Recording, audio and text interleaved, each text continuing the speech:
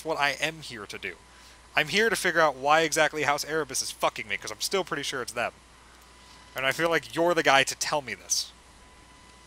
And I know you're not here to clear your name and you don't give a shit about the council and blah blah blah blah. That's fine. I don't care. I just want to bring down these assholes.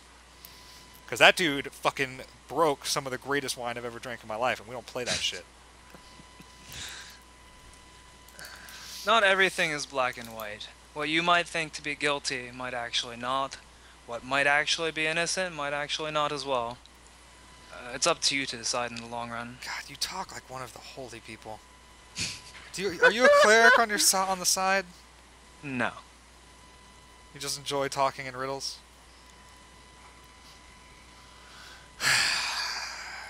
Alright, well, I mean, thanks, I guess, for the money and the ability to kill your big fancy riptide thing. That was fun. Um, do you guys need me to do anything extra while we're here, or can, should we just fuck off now? Would you be capable enough to kill the war chief in the south? The like the war chief in the south? The war chief? Uh, again, and I, I kind of sit up a little bit straighter and I, you know, jiggle around my half plate on me with my giant steel shield and my warhammer. And I'm like, no, how would I? I'm not. uh, You expect me to just run at him and fight him? Surrounded by his entire, you know, tribe of fucking greenies? Like, no. I'm not sneaky, bro. chuckles as if he meant it was a joke and says, Fair enough, I didn't expect that much from your lot anyway. I'm not that sneaky, man. Sorry. If you could convince him to meet me somewhere, maybe, but until then. Yeah. Uh, he keeps on going uh, about the greenies, and he says, I say that jokingly, but truth of the matter is it's become a, a thorn in everybody's side. It appears as though a new war chief uh, has gotten too big for his britches, and uh, he goes on and on about the treaty back 10 years ago and how they agreed to, you know, not fight. Um, at some point, he does drop the name Vargrashi Empire, Okay. which you know to be the official name that the Greenies have formed under. Like it's various clans that have all come together to make one empire. Chat, figure out a way to make it dirty. Continue. Yeah, I don't think you need to Um, ask chat that. And then he asks you, so after you leave here, I assume you're going to be continuing your search. When I leave here, I'm probably gonna head back to what the hell's the name of the big city here? White Throne, or yeah, White Throne. It's White Throne, right? Yeah. Probably gonna head back to White Throne, tell Malachi that you did exactly what I we expected you to do, and just say we didn't do it, and didn't give us any other information. I'm gonna tell him we killed Riptide. I'm gonna get drunk, and then I'm gonna do whatever he wants me to do after that. And if it ends up being that I get to somehow accuse House Erebus of something, then fucking baller. But other than that, I'm here for a paycheck, brother. Okay. Um, he basically thanks you for your understandingness. Uh, you can't tell if he's being sarcastic or not. Oh, I can tell. Perception check. No, no, no, no, no. I, I know. No? This dude's an asshole. Okay. Got it. um, at some point, he motions to. I'm a va- stone lord, and he's like, yeah, that's cute. Like, fuck you, man.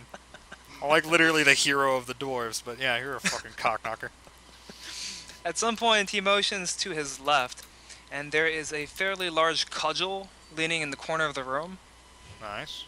Uh, you know what a cudgel is, right? Yeah, It's like a giant stick yeah. for beating. It's a big, And he, big yeah, bitch beating so- stick. So this is abnormally large. It's almost to the point where you feel like this wasn't made for a human. Yeah. And uh, he motions to it and offers it to the party, and he basically says, The party would be me. If- "Yeah, Okay. I- If you so desire, I would be willing to offer you some assistance in loaning you this weapon. Think of it as a a borrowing for your to expedite your adventures. I do expect it back, however. Why would it? What is it? Just a cudgel. Just- you're gonna loan me a big stick? I mean, I appreciate that and all, but I've got a t- fucking. I have a warhammer here. Uh, he just kind of looks at you and says, "Things aren't always what they appear to be." Well, what does? What is it then? Because it appears to just be a large fucking log. It's a really big stick. Uh, on closer inspection, like if you walk up and go up to it, Oh, I'm not. I'm asking him. Okay, you're just gonna ask him. Yeah, I'm just asking him. I'm not looking at shit. I'm sitting right here, drinking out of my wine. But it He looks like a big stick, bro. Says it's your loss. Uh, It's. Re- you're not gonna tell me anything about the big stick you're trying to give me? You know, I mean, he, he's offering you a large, abnormally shiny, and supposedly fancy-looking stick. I mean, Can it's a fancy-looking stick, but Telepathically communicate with Gipper. no. If we He's can get my to thoughts in weapon any on way. I mean, Like he's basically just saying, look, there's a stick here. I think it'll help you with what you're trying to achieve, and You- if you, you don't know- want it, so be it. you know what would help me with what I'm trying to achieve? Booze. Booze would help me because I'm trying to achieve being intoxicated. I'll take the stick. Do I really have to get knocked out again to get out of here? he just kind of looks at you blankly and pushes forward another cup of wine. Ah, god damn it.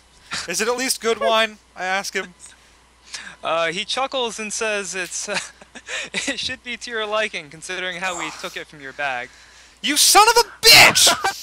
Wow. I get You guys keep fucking with my wine, and someone's about to get dropped in this bitch. Uh, alright. So I go over. I'm like, well, I can't exactly carry it back. Fuck it. Yeah, I want it. Just bring it back with me. And I, I drop the fucking drought. Okay. Uh, you black out again, and let's cut to the party. You guys wake up the next day. What are you guys doing? I start tending to my wounds in any way, shape, or form. Okay. Can How I much help is- with that? I got knocked the fuck down. Um. Oracle. Oh, so you wanna heal, heal him throughout the day, Kitty? Yeah. Yeah, He give just me wants a, to touch me. Be give honest. me a heal check. A heal check? Yeah.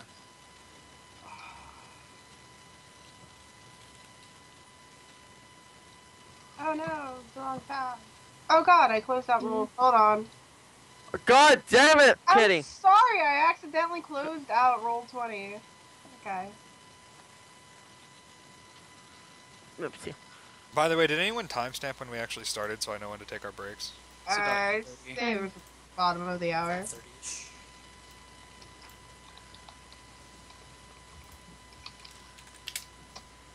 Yes. Greatest healer. Okay. Did she make it worse? Does she literally make it worse? Make it No, at some point you realize that this cat has no idea what she's doing. She's like trying to bandage your arm and it's like wrapping around Okay. your head. So I tell her to stop. Like Yeah. I, I'm like, I'm like, put it down. Walk over there, and I'll do it myself. Okay, roll a first aid check for yourself too.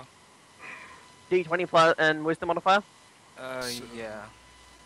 Oh, So we'll say we're about a half hour in right now. I'm a. Oh fuck me.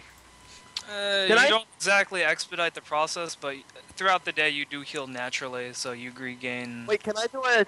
Can I? Can I do a true 20? Do a what?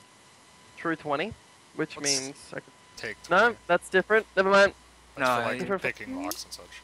Yeah. Something traps. Um, so Ah. yeah, you'll just naturally heal whatever you normally get throughout the day, so that'll put you up uh, two more. It's just like complete rest, so you're now at four HP. Alright. Um, Kayla, Kitty, Ergo, just chilling for the day, or Uh, I was bandaging myself. okay. He Totally actually wrong. got I the- help. doing it.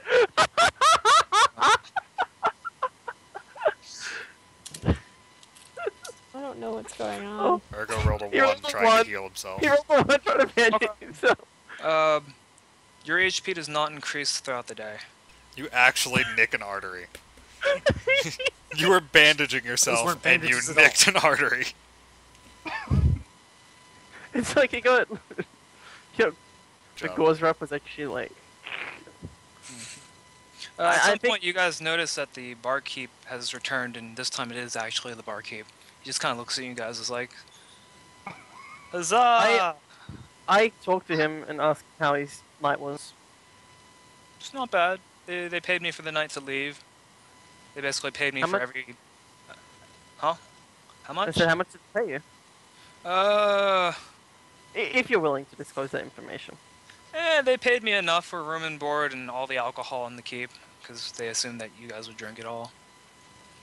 Ah, I call it I a good still So, so did you watch the fight when we went at Fort Riptide? Did you make it Oh to the yeah, arena? hell yeah! Like he seems really hype about this fight. It's like, like, um, what was it like fighting him? Like just to have that monster in your face. I've been faced with monsters before, but none quite like that, I must say. was a changing experience. Um, and then I get knocked out. chuckles I changing your pants a bit. Yeah, I actually had to afterwards. I'm not even gonna deny that. But I'm more upset that I got knocked out by the little thing than the big thing. Well, there was a lot of little things. Little fuckers can hit something.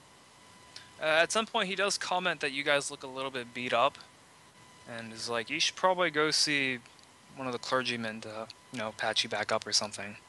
Do you know how much it costs for a clergyman in these parts of town? Uh, no, I try and not hurt myself on purpose. Try to not almost get killed by I, I a say, uh, a Phantom couple monster. I, I say we got a couple of clergymen in the group here, I think. Or some kind of magic fucking people, I don't know. Alright, suit yourself, and he just goes back to doing his work. But if one was interested in seeing a clergyman, where would I find him? Uh, he points uh, in like a general direction west, and is like, "Mm, about three blocks down, we've got a church open. I tell the group, let's go for an adventure. An adventure to where? To the fucking church of these goblin retards. I don't know. Apparently there's a clergy church down in Nicholas. Well, I mean, sure, let's do it. Anyone else want to come? Yeah, let's go over there. Uh, I'm definitely going. So- I asked the drow. Rip, rip, rip Shorehead. Riptide. Hmm? They all The standing around me. drow riptide. My eyes still covered, like still kind of like oh blood swollen. What? Uh, we we want to go to a fucking clergy church down here. Bunch of clergymen apparently. Have little touchy touchy feely Uh. better spells. Do you want to come? Sure. Yeah, Uh, the big happy family. Okay. So you guys make your way down the streets, and you get a lot of looks, and people are just kind of murmuring, like pretty much talk of the town right now. They're all hype.